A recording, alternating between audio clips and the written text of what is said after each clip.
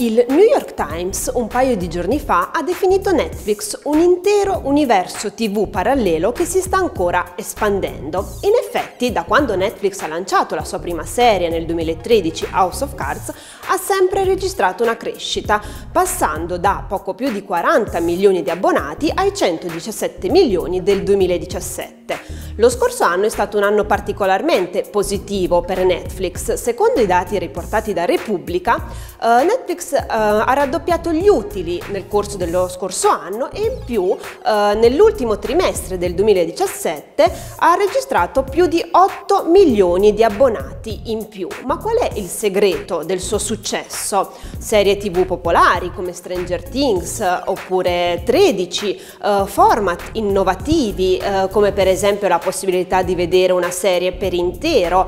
Uh, secondo CNBC il segreto di Netflix sta in un utilizzo consapevole dei social media, ma il New York Times ha messo in guardia il re dello streaming dal diventare solamente una tv parallela, perché non si può essere rivoluzionari portando le persone lì dove sono già state. Quindi per continuare a crescere Netflix dovrà presto uh, pensare a qualche strategia innovativa. Che cosa si inventerà?